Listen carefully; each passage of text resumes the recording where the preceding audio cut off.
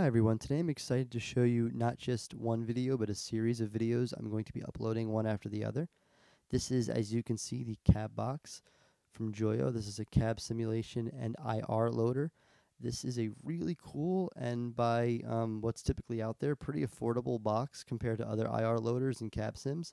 It has, I believe, like 20 um, built-in IRs simulating specific cab models as well as several different mic options and you could simulate um, a specific preamp tube like a 6v6 or an el34 it has some other ones.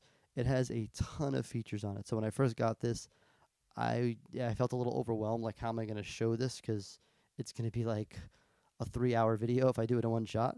So i thought what would be best is i'm going to show you all of the built-in cabs they give you one by one. Each video will be um, focusing on the cabs and their mic combos, along with the um, the tube combos you can do with those cabs.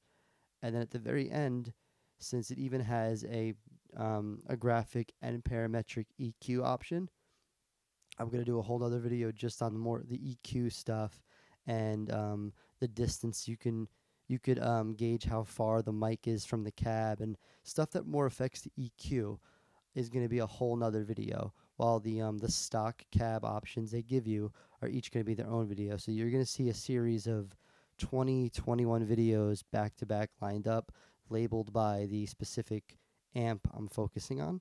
I thought that was the best way to go about it.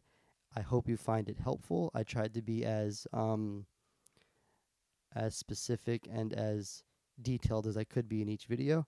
So let me know what you think and this is the cab box Again, this is a direct item, so we're not using any amp, obviously.